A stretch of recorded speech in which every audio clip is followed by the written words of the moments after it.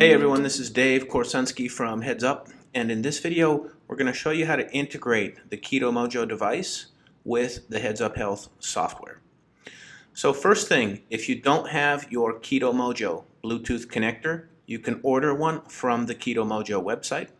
And you can see here the Bluetooth connector just fits right inside the meter, right where the test strip goes. So step one is ensure you have a Keto Mojo Bluetooth connector the next thing you're going to need is the Keto Mojo app, which you can download from Apple or from Google. Now, once you've got the Keto Mojo app installed, you can open it up and let's take a quick tour through the Keto Mojo app. You'll notice at the top here you've got tabs for ketones and for blood glucose. So that's where you're going to be able to visualize your historical readings. You'll also notice the gear up in the top right corner. A few things to note here. One is you can specify units, you can specify date format, you can clear data from the Keto Mojo app for troubleshooting purposes. You can also export your data to CSV, and occasionally, if you're having trouble, we may need you to send a debug file, and that's what this last button is. And then in the bottom right, you'll see the version number. So just make sure you're always using the latest version of the app, especially if you're having issues. So with that in mind, let's do a quick sync. So I'm going to insert the Bluetooth connector into the Keto Mojo device, and then I'm just going to tap the sync button right here. As soon as I do that, the app is going to make a Bluetooth connection with the meter, and it will sync readings onto the app. So I've got two new readings, and I've got a blood glucose reading of 84 and a ketone reading of 0.9. So once you have synced your readings into the Keto Mojo app, you're also going to notice this button down here, the upload button. And that's going to allow you to upload your readings to Heads Up Health, where you'll be able to graph your historical data, compare your Keto Mojo data with other metrics you're collecting. So if you don't have a Heads Up Health account, you can download the Heads Up Health app onto your phone. You can also sign up online at headsuphealth.com through a web browser. So let's take a quick look at the Heads Up Health app. You can see that my blood glucose and ketones have now updated. I've also got some Oura data. I've also got some Cronometer data on here.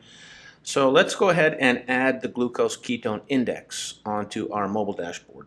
And you just tap the plus button here, choose add tiles, and we're going to add the glucose ketone index, which is under metabolism. And I'm going to specify Keto Mojo. And now you'll see I have the GKI on my dashboard as well. So let's open up one of these tiles. Let's open up glucose.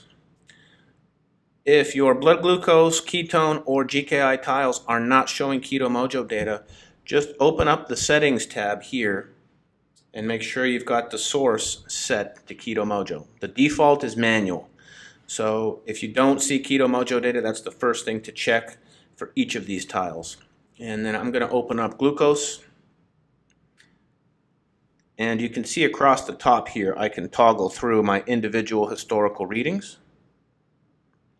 And then down below here, I can graph my data over a week, over a month, over the course of a year, and then I can use these left and right arrows to toggle back to the previous month or the previous year, whatever the case may be. And then down below, we're going to show you the average, the max, and the min for the current month being displayed, and the average, max, and min for the previous month. A couple of the things here, if you do need to review all of your historical readings, they are here on the Data tab. And so you can see all of your readings here in list mode. And then you can also connect up all your other sources onto the Heads Up Health app just by using the Add Source option here. And you've got some sources which are available through the Human API Connect, and that includes Fitbit, MyFitnessPal, Garmin, Nokia Withings, and a, a, a, host of other sources are here. And then you'll see some of our custom integrations down here, Oura, Ketonix, Level, and other sources. So that's how you can link up other sources and really see the big picture of your health when you've got your Keto Mojo data alongside all of your other health metrics. Just a few more things. If you are accessing Heads Up Health from a web browser, you can do so at headsuphealth.com. And you can see here I've got a very similar dashboard to mobile. So you can create a mobile dashboard and a web dashboard. I'm going to just repeat the same process. Here's how you would add the glucose ketone index onto your dashboard. And again, just make sure you've got it set to Keto Mojo. So you can create your own custom dashboards just like mobile on the web. You can connect up all your devices and apps here. You can also sync up your medical records from over 30,000 providers. Now there's a few things you can do in the web app with Keto Mojo that you can't do in the mobile app. First you'll notice this pencil here. And that's actually going to allow you to edit Keto Mojo readings.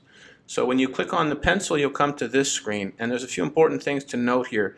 So I've got my Keto Mojo glucose readings. First is I can click the button to edit readings. And I may want to mark that this was a fasting reading and I may want to add some notes here as well. So you can actually add notes and tags to your Keto Mojo readings inside the Heads Up Health web app. You can also soft delete a reading. If for some reason you got an erroneous reading or someone else in your family used your Keto Mojo and you just don't want that showing up anymore, you can do a soft delete. So that reading is now gone. And if you want to bring it back, just click on Show Hidden Readings and then you can restore it. So I'm going to restore that most recent reading.